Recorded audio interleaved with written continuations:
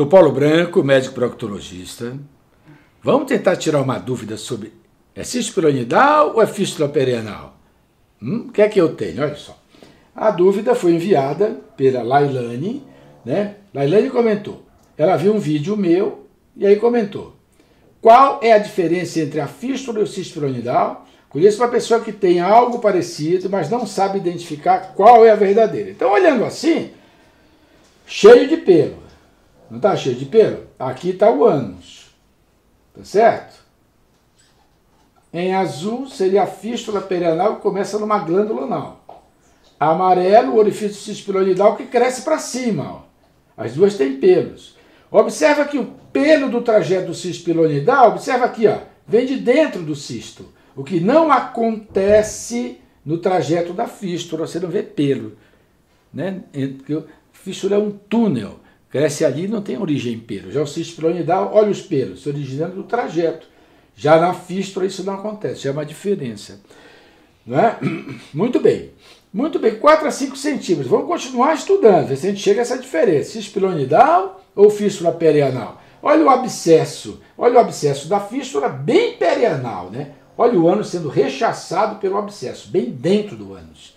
Né? Mas pode ser um furúnculo também, mas está perianal. Né? Olha o cisto pilonidal. O abscesso pilonidal é sacrococcígeno. Olha um pelo saindo do cisto pilonidal, sacrococcígeno. Olha a fístula. Olha o orifício externo, sem trajeto de pelo, ele é por dentro do tecido, e saindo secreção, secreção purulenta. Tá certo? Então, praticamente aqui eu já sei a diferença. Eu tenho 34 anos de experiência. Eu tive um caso que eu confesso para vocês que eu apanhei. Era uma fístula interglúteo, o orifício da fístula, na nádega, estava entre os glúteos, mas muito alta. E eu juro que eu confesso que eu pensei que foi um cisto pilonidal. Só quando eu fiquei em dúvida, porque o trajeto né, é, não era muito alta, mas eu poupava o trajeto. Aí pedi uma ressonância magnética, jogava contraste e saía no reto. Era um cisto pironidal mesmo, só que fistulizou para o reto. Ele cresceu para baixo cerrado e fistulizou no reto. O azul de metirano jogava depois saía. Não tenho essas fotos, vou mostrar para vocês, saía no reto, que é muito antigo isso. Entendeu? O único caso da minha vida. Hoje tem a ressonância magnética, né, com contraste. A ressonância magnética já quebra, é o GPS dos trajetos do sacro, cisto sacro-oxígeno e do cisto piramidal. Praticamente, né? Mas eu só de tocar assim, ó, eu já toco um trajeto como corda de violão nas cistas. Olha aqui a glândula, esse aqui não tem se olhar, isso aí não tem como me enganar. Mas se eu tiver na dúvida, eu toco aqui, ó, sob a pele é um trajeto como corda de violão, corda do meu cavaquinho, né? Do endurecido você palpa o trajeto, que é o melhor momento de operar fístula perianal, eu falo. Ela está sequinha, tá?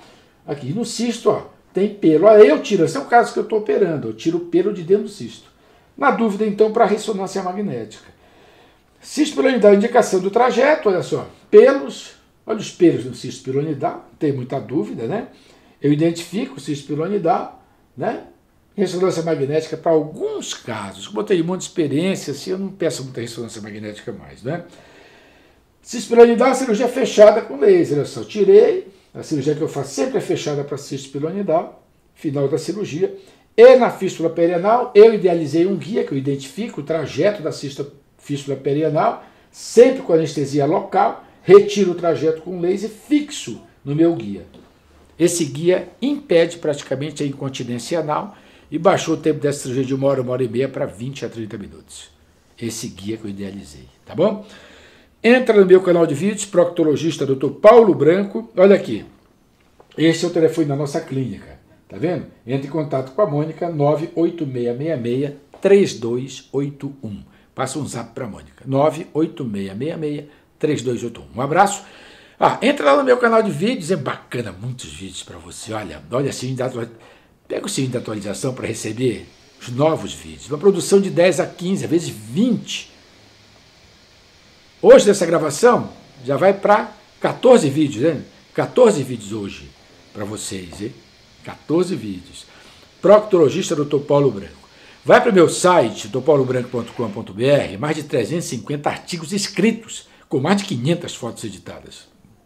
Quer ver foto? cisto piramidal, fístula perianal, causa diagnóstica, cirurgia, do paulobranco.com.br. Redes sociais, Facebook, Instagram, lá no Instagram, arroba proctologista, lá no Facebook, arroba proctologista, Instagram e GTV. Um abraço.